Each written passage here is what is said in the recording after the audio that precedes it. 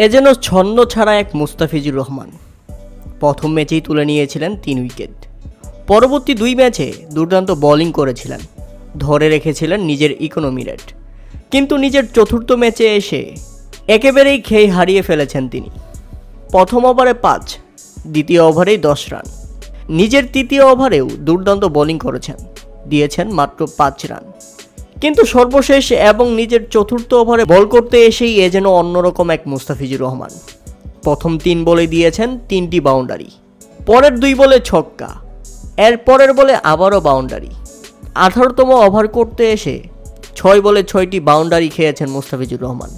ওই ওভারে খরচ করেছেন আঠাশ রান, যার ফলে নির্ধারিত চার ওভার বোলিং করে আটচল্লিশ রান খরচ করেছেন মুস্তাফিজুর রহমান। এতে হতাশ হয়েছেন কোচ রিকি পন্ডিং সহ অধিনায়ক ঋষভ পান্ত পর্যন্ত। সেই সাথে হতাশায় ডুবল পুরো বাংলাদেশ।